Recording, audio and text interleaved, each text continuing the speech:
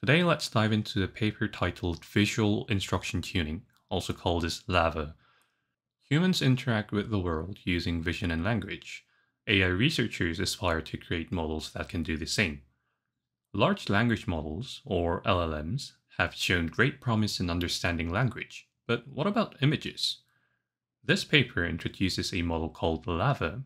Uh, the model combines vision and language. It's trained using a method called instruction tuning on dataset generated by the GPT-4 model.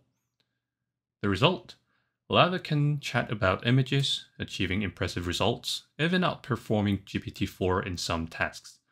Uh, when this model is fine-tuned, LLaVA achieves a state-of-the-art accuracy of 92.53% on the science question and answers dataset.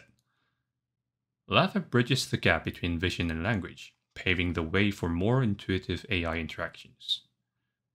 Check out the paper for a deeper dive, and that's all for today, and don't forget to subscribe for future contents like this.